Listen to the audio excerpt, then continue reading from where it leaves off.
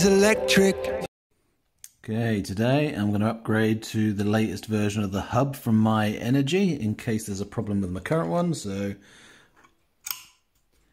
connect the power supply, follow the instructions, and the instructions say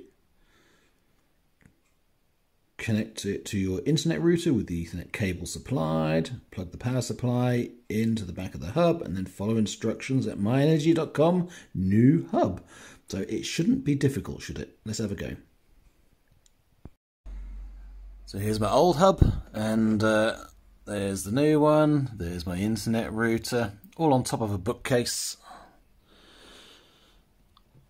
right at the top of the room by the ceiling. So um, yeah, hopefully the positioning's easy. I can use the same set power supply or just rewire the power supply, which is down the side of the unit. Just plug the cable in and uh, away we go. And then we'll see how easy the instructions are. Okay, there we go. That's the RJ45 network cable plugged in, so just power next.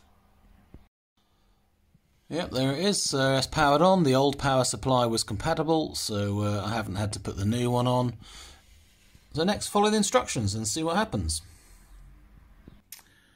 Well, not a good start. Um, you put in the address that they've told me, which is myenergi.com slash new hub. And that web page doesn't go anywhere, it just redirects you to the latest product range. So there isn't actually any instructions. So that's not a good start. But a quick Google search installing Myenergi Hub comes up with the goods, so this shouldn't be too difficult at all.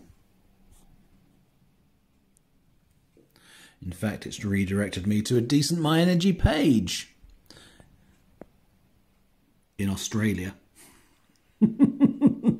anyway, it should all be the same, shouldn't it? So uh, let's have a go. So first step, briefly press the pair button.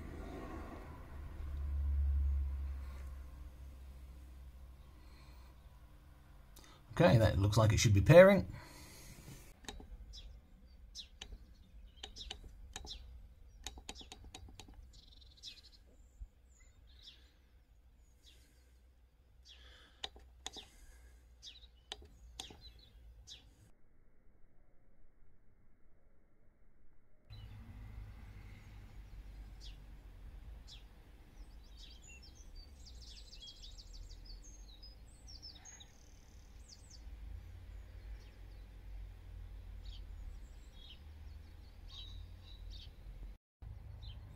Removing the old hub. Just leaves the new one. Okay so now I've paired with the hub. It uh, sees the Eddi and the Zappi and has got a green on them. So next I think go to the app and uh, put the new hub on it.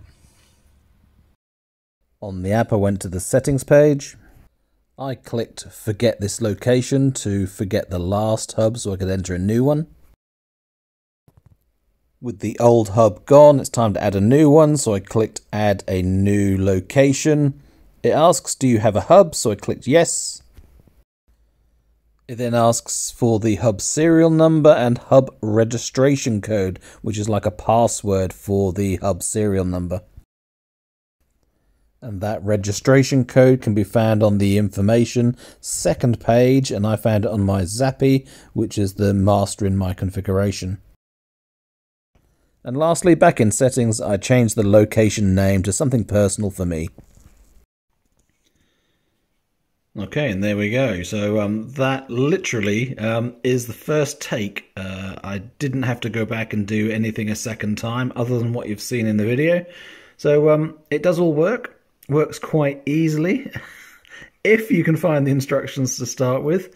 And yeah, okay, the registration code, um, which is actually like a password for the hub, um, and finding that on your master unit, the Zappi for me, that, that that didn't appear to be straightforward, but it actually wasn't really complicated. You just had to follow um, instructions and trust that it all worked. So yeah, very very happy. That literally took 10 15 minutes including filming it wasn't very difficult at all. So if you're upgrading your hub from a hub 1 to a hub 2 I hope this video helps.